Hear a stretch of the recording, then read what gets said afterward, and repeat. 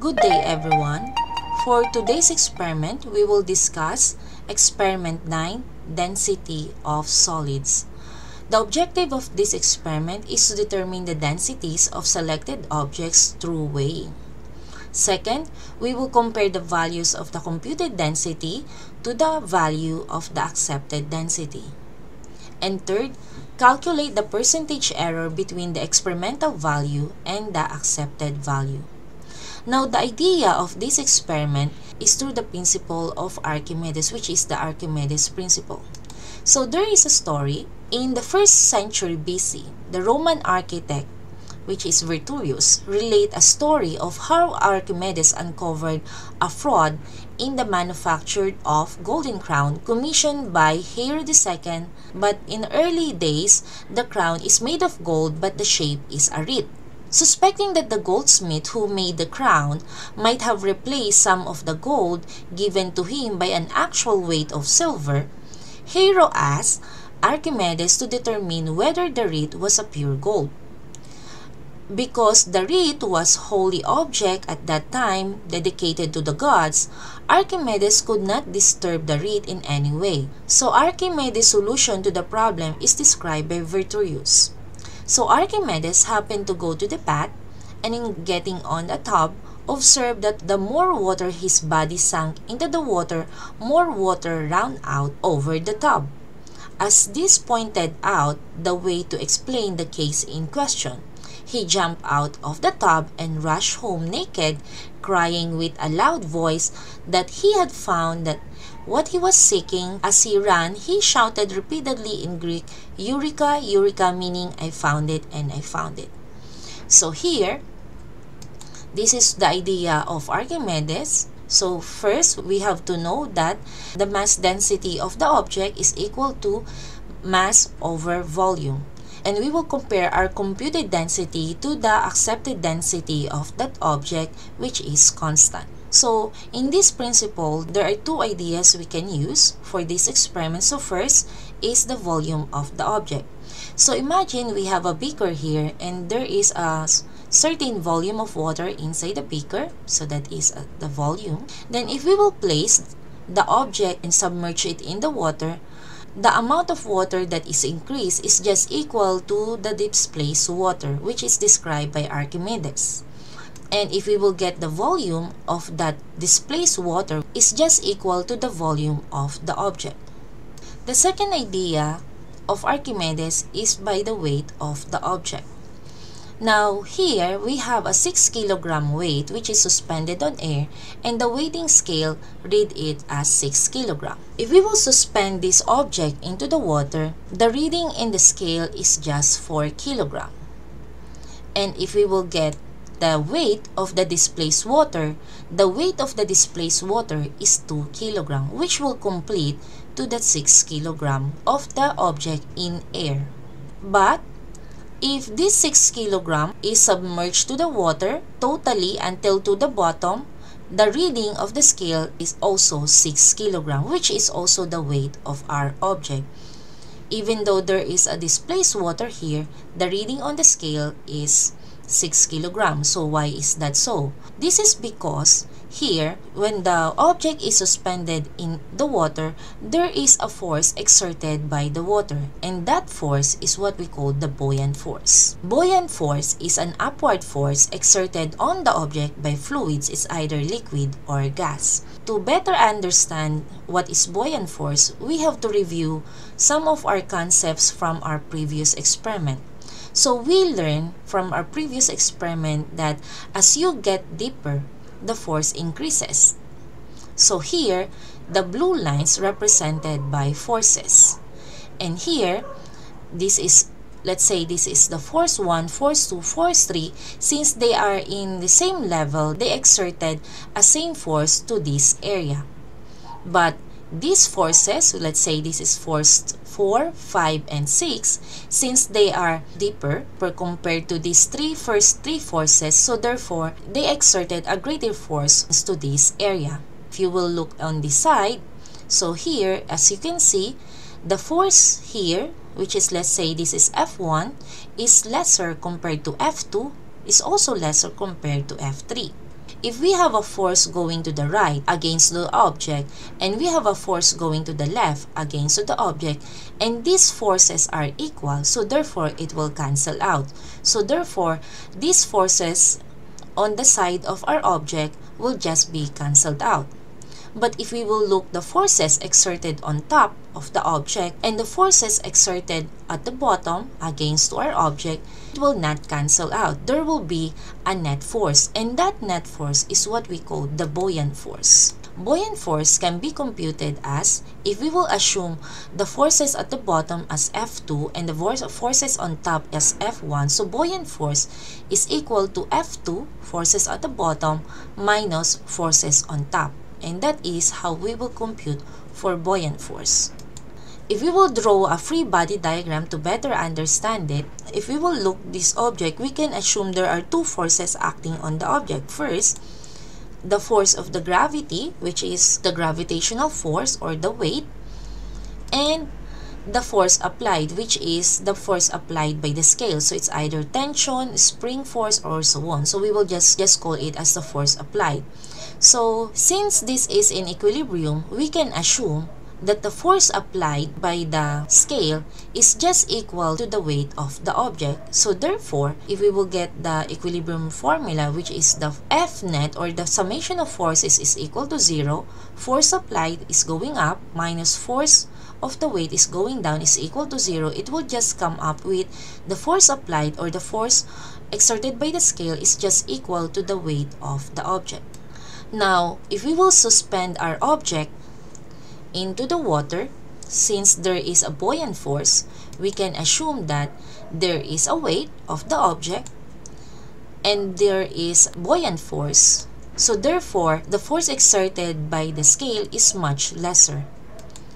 And if we will put it in a free body diagram, so first we have the weight of the weight of the object and the buoyant force which is going up and also the force exerted by the scale, if we will add them up, it will just be equal to the weight of the object. So, the, the force applied by the weighing scale plus the buoyant force is just equal to the weight of the object. is suspended on air. And we have to remember for suspended objects, the buoyant force is equal to the weight of the displaced water. So here, buoyant force, FB, is just equal to the weight of the water. So let's go back to the formula of buoyant force. So let's review first the formula we have discussed previously. So buoyant force is just equal to F2 minus F1. And we know that liquid pressure can be computed by force divided by area or pressure is just equal to the density of the object or the density of the water times the acceleration due to gravity times its depth. Now remember, if, if we will replace the object with a water, so this is made of water, and this is the depth 1, and if we will derive this one, we can get F1 is just equal to the pressure exerted by force 1 times its area. While for F2, this is the depth of F2, F2 can be computed as the pressure exerted by F2 times its area. But we know pressure can also be computed by mass density times the acceleration due to gravity times its depth. So by replacing it, so here, the force 1 can be also be computed by rho, the mass density times the acceleration due to gravity times its height 1 times its area. And F2 is just the same, the rho the acceleration due to gravity, h2 times its area. So, by substituting it in our formula for buoyant force, so buoyant force is just equal to F2 minus F1 or it will be just equal to the mass density times the acceleration due to gravity times area. Then, we subtract H2 minus H1. So that is the formula for our buoyant force. Now, this whole idea again is all about Archimedes' principles. Now, for this experiment, what we're going to do, we will find the density of aluminum, copper, steel, and brass and we will compare it to a constant. By doing so, first, we will get the mass of the beaker and the water without the object Second, we will suspend the object, so we will have M2.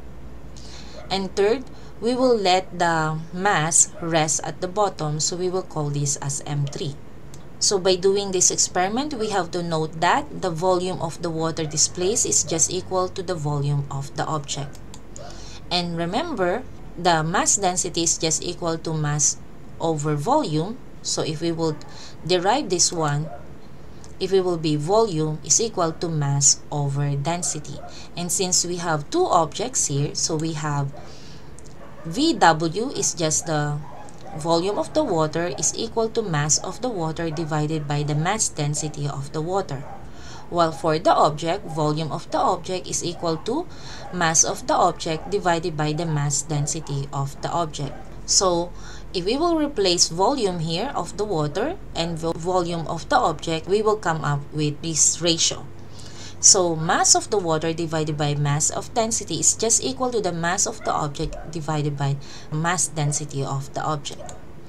Or, we can have this equation by getting the ratio of the mass of the water and mass of the object is just equal to the ratio of the density of the water and density of the object. And since our goal is to get the density of the object, we can use this formula. The mass density of the object can be computed by mass density of the water times the ratio of the mass of the water divided by the mass of the object.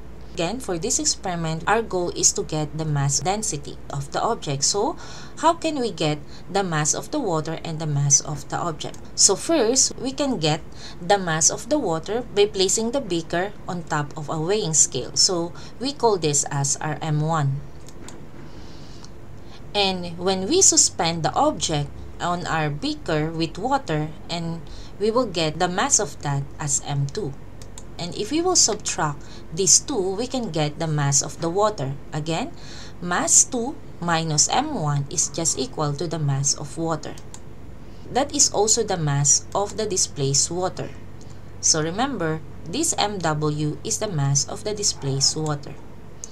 So mass of the displaced water is just equal to the mass density of the water times its the volume of the water.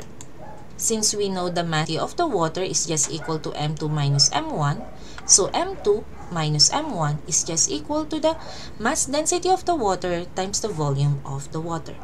Now, if we will get the mass of the object that is resting at the bottom, so we will call it as mass 3. So here, if we will subtract M3 to M1, we will get the mass of the object. And note, the mass of the object is just equal to the density of the object times the volume of the object. And since we know the mass of the object is equal to M3 minus M1, so here we can replace mass of the object here as M3 minus M1 is just equal to density of the object times the volume of the object. So previously, we get that the ratio of the mass of the water and the mass of the object is just equal to the density of the water divided by the density of the object. And since we know that the mass of the water is just equal to mass m2 minus m1 and mass of the object is just equal to m3 minus m1, we will replace this to our mass of the water here and the mass of the object at the bottom. So it will be just like this. So we will derive this one to get the density of the object. And we get that the density of the object is just equal to the dense mass density of the water multiplied to the ratio of m3 minus m1 divided by m2 minus m1. And this is our formula we will use to get the density of the object in this experiment. So again, for this experiment, we will get the mass of our beaker with water, so that is m1. Second, we will have our object, so it's aluminum, copper, iron, or brass. So we will suspend it first. So we will get our M2. Then we will let we will let our object rest at the bottom of the beaker and that is M3 and we will compute our mass density here by using this formula that was previously explained. And we will compare it to the accepted density and to get the percentage error, we will use this formula in which the percentage error is just equal to the absolute of the computed density, which is this, minus the accepted density, which is this one, divided by the accepted density, and absolute of that means it's always positive times 100, and we will get the percentage error. So, for this experiment, complete table A. So, the density of the water is 1000 kilogram cubic meter. Also, complete table 2 and answer the analysis and the questions found in page 89 and 90.